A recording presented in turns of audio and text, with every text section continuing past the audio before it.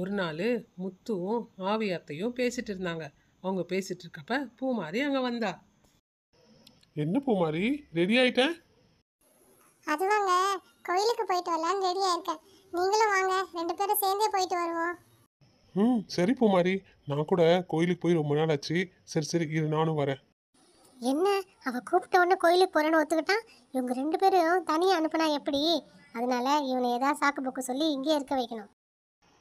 அம்மா நானும் பூமாரியோ கோயிலுக்கு போயிட்டு வரோமா டேய் அவ கோயிலுக்கு போனா? யாரை சமைக்கிறது?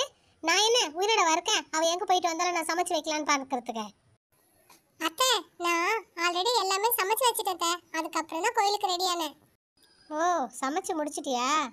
சரி அப்ப நீ மட்டும் போயிட்டு வா. டே முத்து இப்போதானே ஆஃபீஸ்லேருந்து வந்த டயர்டா கொஞ்ச நேரம் ரெஸ்ட் எடு. பக்கத்தில் தானே கோயில்? அவளே போயிட்டு வரட்டும். ம் சரிம்மா. அப்போ நான் போல அவ மட்டும் போயிட்டு வரட்டும். பூமாரி பக்கத்தில் தானே கோயில் இருக்கு? நீ போயிட்டு வந்துரு. முத்து சொன்னதை கேட்ட பூமாரி ரொம்ப வருத்தப்பட்டா. ம் சரிங்க. நானே போயிட்டு வந்துடுறேன்.